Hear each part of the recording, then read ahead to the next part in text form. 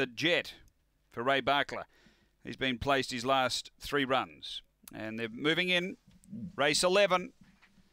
Second division of the Grade 5. And we're just about ready here. And runners are in. Signal on.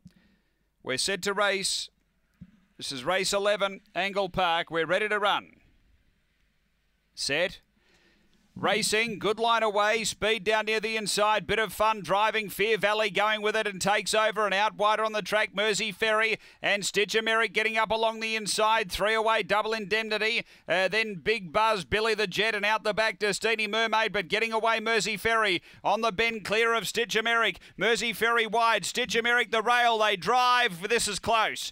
Stitcher Merrick Mersey Ferry, they're very wide apart. You've really got to bring that outside Greyhound up. Then Double Indemnity, bit of fun. Uh, Billy the Jet, Destiny Mermaid. It would have been back toward the uh, tail end. And the time here, we stand by. This is close. Number seven does hold on. It's in the frame.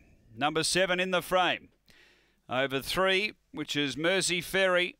And uh, for third, eight runs third. Seven the winner, Stitcher Merrick, Shelley Trengove.